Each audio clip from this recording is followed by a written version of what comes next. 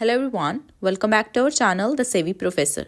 In this video, I am going to guide you through ways you can try to fix the PayPal error your account access is temporarily limited. While logging into your account or while making a transfer, you may sometimes get this error which puts certain limitations to your account, which may stop you from transferring funds to your bank account from PayPal or even receiving money on PayPal.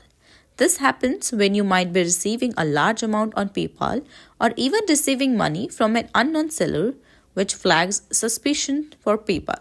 So, now to fix this, you need to confirm your identity by providing some additional information such as identity card or proof of address.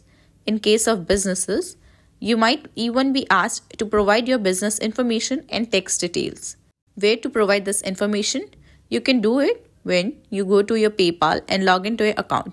Once you're logged in, you will be brought to the dashboard. Here on the home screen, just click on the bell icon on the top main menu on the right, which will open the notification menu.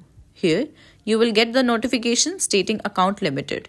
Provide additional information, then just follow on-screen steps and submit the relevant information asked. If you can't find that option, then the most convenient way is to contact customer support. For that, on the PayPal dashboard, scroll down to the very bottom until you see Contact next to Help.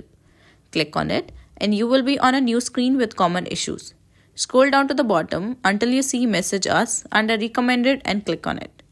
Finally, a chat window on the right will pop up where you can briefly explain the issue to the customer service agent. Once the PayPal agent is with you, explain the problem with a message like, Hey there, my PayPal account has been giving the error your account access if temporarily limited, which stops me from doing any transaction on PayPal.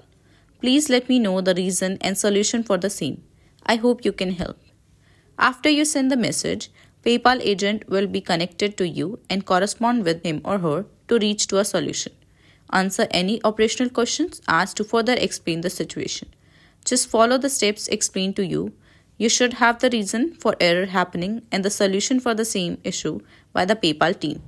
I hope this video helped you out. If it did, then don't forget to smash that like button and also subscribe to the channel. I will see you in the next one. Till then, take care.